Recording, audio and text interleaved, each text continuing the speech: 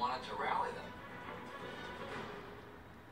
To you, the great silent majority of my fellow Americans, I ask for your support. North Vietnam cannot defeat or humiliate the United States. Only Americans can do that. The term silent